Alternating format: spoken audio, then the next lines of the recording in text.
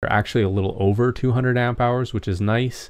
And I've actually watched some videos. I haven't done this myself as it's not, you're not supposed to, but I have watched a teardown video of these and they show that basically it's a well-built, simple lithium iron phosphate battery and the build quality of them is consistent they have a few of the protections that you need in the BMS. One thing they're missing is a low temperature sensor, which you don't really need as long as your charge controller for your solar panels has a low temperature sensor, then it won't feed in electricity to these batteries if they are below zero. But they have the other protections that you need like overcurrent protection, overcharge protection, over discharge protection, short circuit protection, and a high temperature sensor. The other reason I wanted to partner with Redodo on these batteries is because of the price. They are so well priced. I just simply connected these to each other, connected the negative to my shunt, connected my positive to my positive bus bar,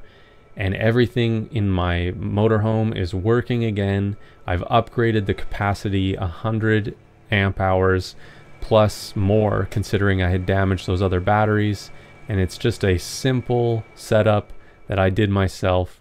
And it may not look that pretty but everything is safe everything functions well. And this is a system that I've now ran for two years. These batteries are the new addition to that to just up my capacity. And I'm so thankful that there are batteries out there like these ones that are well priced